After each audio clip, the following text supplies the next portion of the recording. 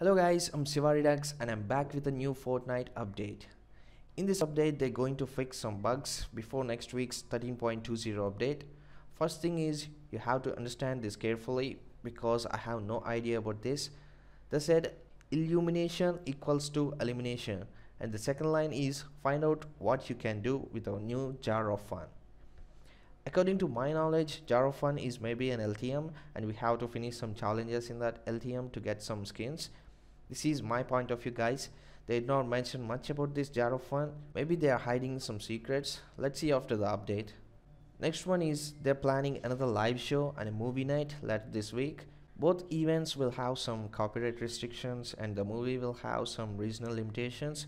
They did not mention any regions here. They will tell before the show time people in some regions will unable to watch these events last one is they're going to do some bug fixes in this update by players feedback.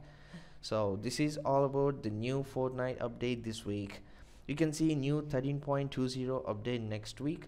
So if you don't want to miss the next week update details don't forget to subscribe my youtube channel and hit the bell icon so you can get notifications when i post new videos about fortnite updates. Hope you liked the video guys. Thanks so much for watching.